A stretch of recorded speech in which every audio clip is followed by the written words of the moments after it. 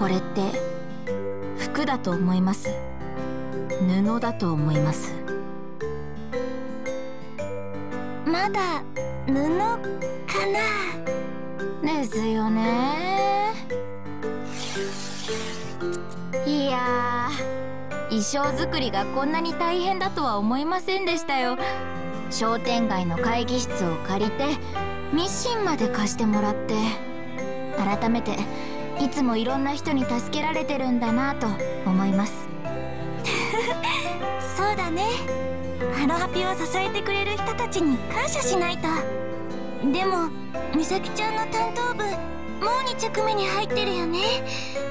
私は1着目のミッシェルの衣装もまだなのに。いやいやミッシェルと他の人のじゃ布面積が違いますから。だからカノンさんは私とカオルさんの衣装って分担なんですそれにほら私はもともと羊毛フェルトが趣味だったんで針の扱いには慣れてるっていうか。うんありがとう美咲ちゃん。でもこの調子だと試着の予定の日に間に合わなさそうだよね。カオルさん部活の方に専念してるからその日しか衣装合わせできないのに。あーまあ大丈夫ですよサイズ通りに作ってるんですから。そっか。美咲ちゃんが言うならきっと大丈夫だよね。そうですよ。とにかく本番までには間に合わせましょう。あ私もみんなに負けないように頑張るよ。ん？美咲ちゃん？あのもしかして何かあったんですか？え？いやなんかいつものカノンさんと違う気がして。そそうかな。何でもないならごめんなさい。私の勘違いです。でも何か気になることがあるなら相談くらい乗りますよ。小さい頃にね家族でサーカスを見に行ったことがあるんだ。家族でですか？うん。移動サーカスが来てねお父さんとお母さんとまだ赤ちゃんだった弟とみんなで見に行ったの。広い空き地にいつもはないテントができてて知ってる場所なのにいつもと違う夢の中みたいで。お母さんの手を離したら違う世界の迷子になっちゃいそうで。私怖くて泣き出しちゃったんだ。え大丈夫だったんですか？うんだから団長さんが言ってた怖がられるっていうのちょっと納得しちゃったんだよね。まああの団長さんの怖いはちょっと違いますけどね。それでお父さんとお母さんになだめられて泣き止んでサーカスが開園してそしたらとっても楽しかったの。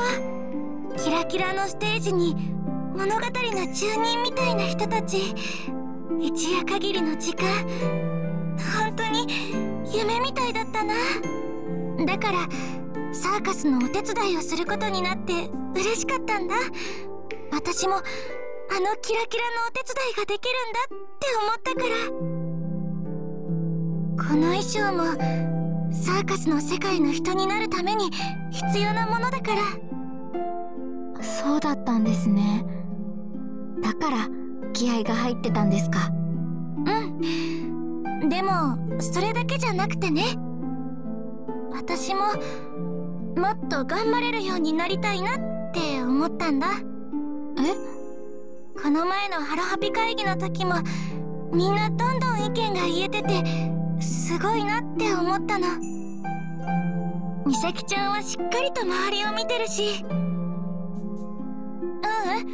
うん。美咲ちゃんだけじゃないカオルさんのかっこよさもはぐみちゃんの元気さも心ちゃんの明るさもみんなあの日見たサーカスみたいにキラキラで私の憧れ。あの急に褒められるとどんな顔していいかわかんないんですけど。でも本当にそう思うんだ。みんなのおかげで私の世界はすごく広がった。知らない世界を怖がって変わりたいけど変われなくて。でもみんなのおかげで一歩踏み出した先にはすごく広い世界があるんだって知ることができたんだ。カノンさん。だから怖くて泣いてた私はもういないよ。みんなに出会えてみんなとバンドを組んでみんなと笑い合って私はもう一歩進めるようになったから。カノンさんだから私もみんなみたいにみんなみたいにキラキラになりたい。うん なんか身の丈に合わないくらい褒められててムズムズするんですけどでもなれますよ。カノンさんなら。カノンさんが目指すものに。だからまずは衣装をバッチリ作り上げてみんなでサーカスを成功させましょう。